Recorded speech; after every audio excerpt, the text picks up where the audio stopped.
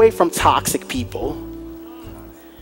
I have an eight week teaching back there entitled Crazy Folks. And I'm going to leave it at that.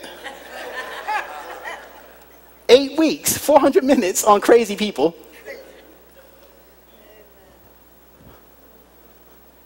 If you're having trouble setting boundaries, you better get that teaching.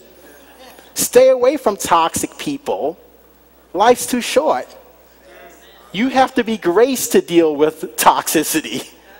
If you're not graced to deal with these individuals, stay away. Now, He will grace you to deal with some. That's why we're believers. But you're not graced to, for everybody. Jesus, if Jesus couldn't win everybody, you're not.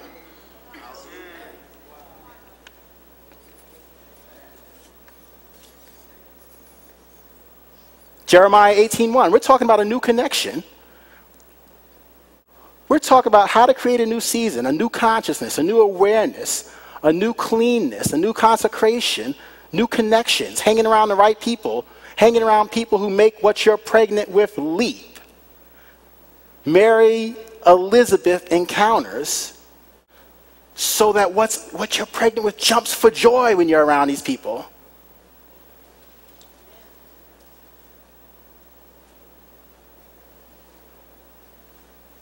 As it relates to the functional aspect of my ministry, I can't be around people who de energize me. I can minister to them, but nine to five, when it's time to get the task done, I want to be around people who energize me.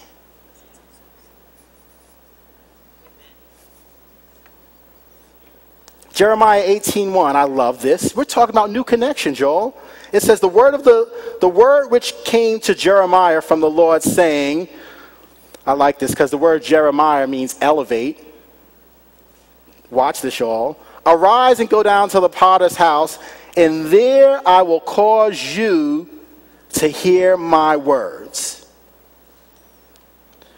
Verse 3, Jeremiah 18, 3. Then I went down to the potter's house, and there he was making something at the wheel. Verse 4, and the vessel that he made of clay was marred in the hand of the potter. So he made it again into another vessel, and it seemed good to the potter to make. But I want to focus on verse 2.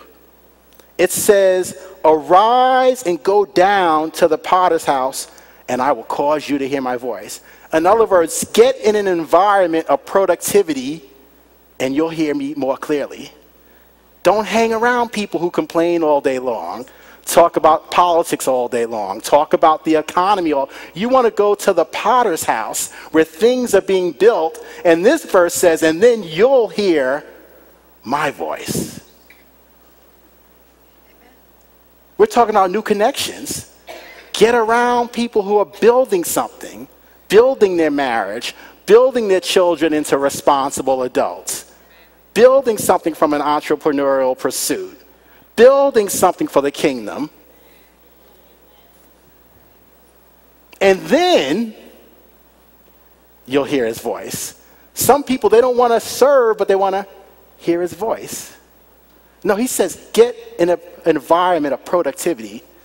Go down to the potter's house.